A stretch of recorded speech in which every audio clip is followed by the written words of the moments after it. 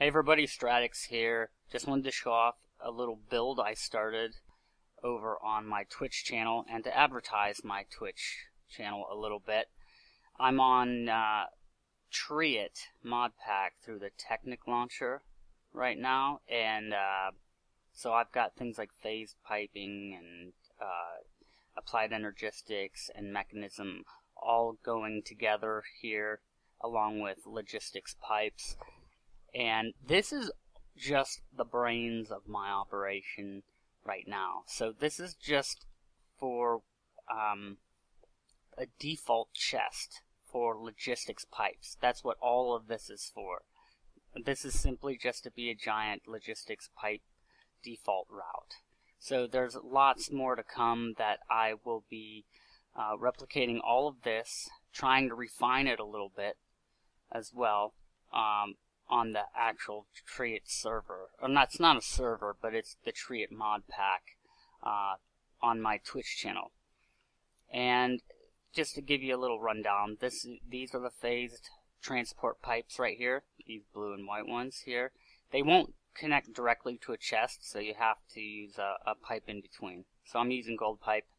Uh, these are crystal chests, which are just diamond, same as diamond chests. You can just see through and uh, I'm trying to, I, like I said, I'm going to refine it. I'm trying to better um, organize these, how I'm going to have this all set up.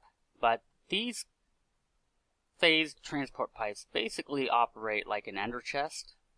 And uh, so I could have a quarry hooked up to the other end of these. I can program these, set frequencies for each one of these, and then have corresponding ones at different quarries or um, at different machines to transfer back and forth.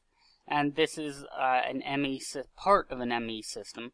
These are storage buses from Applied Energistics, and uh, so this is sort of just like a baby ME system, and it's actually using the diamond chests as the storage instead of using disks from Applied Logistics. I've got some Mekanism universal cable here, Mekanism uh, energy cube set up here. Um, the logistics pipes are attached to the bottom here. So I can have uh, automatic storage and retrieval. Here is the requester pipe, and I could even create a remote orderer to order this remotely from wherever I'm at. And if I attach um, possibly will use an ender chest for that. But if I attach an ender chest for that and then put an ender pouch in my inventory, and then I use a remote orderer, it'll order out of here and go right into the ender chest, which will then go into my pouch in my inventory. So I can access my items from anywhere. So like I said though, this is just the very beginning. Um, also up here is a Tesla coil. Now it says this is resonant induction electrical, uh, and it might be, but everywhere I look online says this is part of Mekanism.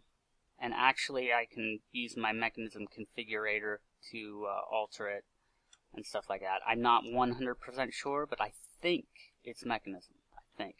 So that's uh, this little build going on here. This will allow me to have a giant brains of operation because uh, I need a big default route because I need lots of storage for a default chest. Uh, and that's all this is, and it's just a fun way of doing it. So, yeah, so if you want to see more of this, uh, and other games that I play and other Minecraft mod packs, check out my Twitch channel, and, uh, there I try to talk as much as I can with, with the chat room. And we'll be building a lot more to this. I'll be I'll be taking this down, connecting it to a larger uh, logistics network that'll be automating all kinds of machinery and even tanks, uh, automating liquids and so forth. So, yeah, so if you want to come and see me replicate this and make a better version of this and continue past this to even more, uh, more craziness, uh, you can find all that on my Twitch channel. And don't forget to follow me and give me a sub if you like this video. I will be uploading more videos constantly to my YouTube channel. So thanks for watching, and I'll see you next time.